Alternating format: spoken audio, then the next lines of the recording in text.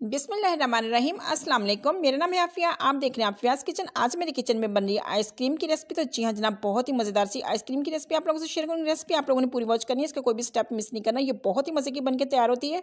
जब आप इसे एक दफ़ा बना के घर पर खाएँगे तो इनशाला आपको बाहर जाने की कभी भी ज़रूरत नहीं पड़ेगी। घर पर ही आइसक्रीम बना के इन्जॉय करेंगे। तो चलिए शुरू करते हैं। सबसे पहले फुल फैट दूध ले लिया मैंने। दो कप सारी चीज़ें मेज़रमेंट के हिसाब से जाएँगी। कोई भी चीज़ कम ज़्यादा नहीं होगी। तो ये देखिए, दो कप मैंने दूध डाल दिया, साथ ही शामिल करेंगे लेवल आधा कप चीनी, साथ ही शामिल करने के आधा कप दूध, ये भी लेवल करके लिए। चला गया, साथ ही शामिल करेंगे दो टेबल स्पून कॉर्नफ्लावर के।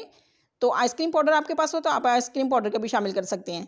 तो ये देखिए, दो लेवल करके मैंने टेबल स्पून डाल दिए इसमें आइसक्रीम पाउडर या हम कॉर्नफ्लावर पाउडर डाल दें। अच्छी तरह इसको मिक्स किया दोनों चीज़ों को। ये देखिए, अच्छे से मैंने मिक्स कर दिया। अब मैंने जला दिया चूल्हा। चूल्हा जलाने के बाद इसको अच्छे से चार से पाँच मिनट के लिए पकाएँगे ताकि अच्छा सा गाढ़ा गाढ़ा सा मिक्सचर हमारा तैयार हो जाए। तो ये देखिए, माशाल्लाह इस स्टेज पे आ गया है। तो अब एक से आधा मिनट के लिए मैं मज़ीद इसे पकाऊँगी। अच्छी तरह मिक्स करते हुए ताकि अच्छे से ये तैयार हो जाए। तो ये देखिए, माशाल्लाह माशाल्लाह से कितना अच्छा सा हमारा ये मिक्सचर तैयार हो गया। अब इसे चूल्हे से उतार के मैं ठंडा होने के लिए रख दूँगी एक साइड पर ताकि अच्छे से ठंडा हो जाए। अब इसके लिए तीन टेबल स्पून बादाम ले लिए मैंने मोटे मोटे से कूट लिए थे और तीन टेबल स्पून ही पिस्ता ले लिए थे। अब इनको ड्राई रोस्ट करेंगे हल्की आँच पे दो से तीन मिनट के लिए। जब ये इन्हें इस तरह ड्राई रोस्ट करके डालेंगे आइसक्रीम तो इस आइसक्रीम का फ्लेवर मज़ीद बढ़ जाता है। ये बहुत ही मज़े का बनता है।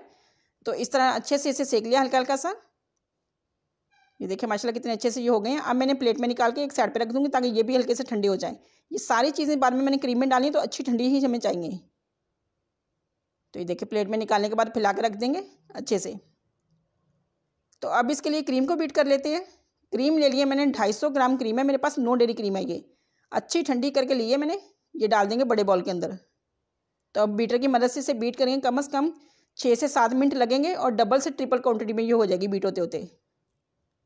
तो ये देखिए माशाल्लाह कितने अच्छे से मैं इसे बीट करती जा रही हूँ, ये देखिए माशाल्लाह कितनी अच्छी सी फॉर्मी सी हो गई है। तो अब मैं इसमें जो कस्टर्ड तैयार करके रखा हुआ था, ये उठा के डाल देंगे। ये देखें ये चला गया सारा, ये अच्छा ठंडा होना चाहिए। तो अब मैं इसमें शामिल करूँगी कंडेंस मिल्क है, मेरे पास आधा कप अच्छे से मैंने इसको भी फ्रीज़र में रखकर ठंडा कर लिया था, हल्का हल्का सा जम भी गया है। अब स्पेचुलोस की मदद से हल्का से इसे मिक्स किया सारी चीज़ों को और अब मशीन की मदद से फिर से एक से डेढ़ मिनट चलाएँगे बीटर मशीन इसमें, ताकि अच्छे से सारी चीज़ें मिक्स हो जाएँ। तो ये देखिए, माशाल्लाह कितने अच्छे से मिक्स हो गई हैं, बहुत ही मज़ेदार सी हमारी आइसक्रीम तैयार हो रही है। तो एक से डेढ़ मिनट मैंने इसको चला लिया, अब निकाल के बंद करके मशीन को एक साइड पर रख देंगे। ये हो गया प्लेट को अच्छे से साफ़ कर लिया मैंने, स्पैचुलो की मदद से एक दफ़ा मिक्स करेंगे ताकि कोई नीचे चीज़ बैठ गई है तो वो भी अच्छे से मिक्स हो जाए। ये हो गया। अब मैं इसमें शामिल करूँगी जो बादाम और पिस्ता ड्राई रोस्ट करके रखे हुए थे, ये डाल देंगे। थोड़े से बचाऊँगी मैं एक टेबल स्पून के करीब ऊपर से डालने के लिए। तो बाकी सारे डाल दिए। साथ ही मैं इसमें शामिल कर दूँगी टूटी फ्रूटी, रेड वाली, दो चम्मच के करीब मैंने डाली है बारीक बारीक से कट करके। ये कलर के लिए डालिए ऑप्शनल है, आपको पसंद तो आप डाल लें। तो ये सारी चीज़ों को मैंने अच्छे से मिक्स किया। मिक्स करने के बाद आइसक्रीम बॉक्स लिए, इसमें डाल दिया सारी आइसक्रीम मैंने। तो ये देखिए, माशाल्लाह से बहुत ही मज़ेदार सी, क्रीमी सी हमारी आइसक्रीम तैयार हुई है। अब जो पिस्ता बादाम डाल, बचा के रखे थे, ऊपर से डाल देंगे। ये हो गया। अब प्लास्टिक रैपर की मदद से इसे अच्छे से रैप कर देंगे। कवर करेंगे अच्छे से ताकि क्रिस्टल ना बने इसमें। अब ढक्कन लगा के, टाइट करके, बंद करके इसको फ्रीज़र में रख देंगे। ओवरनाइट, या आठ से दस घंटे आप लाजमी से फ्रीज़र में रखें। तो ये देखिए, दस घंटे के बाद हमारी आइसक्रीम बन के आ गई है। तो माशाल्लाह माशाल्लाह से बहुत ही अच्छी से ये सेट हुई है। बहुत ही मज़े की आइसक्रीम तैयार हुई है। आप लोगों ने रेसिपी ज़रूर ट्राई करनी रेसिपी पसंद आए दोस्तों में फैमिली में शेयर करें और मुझे कमेंट बॉक्स में बताएँगे आपकी रेसिपी कैसे बनी।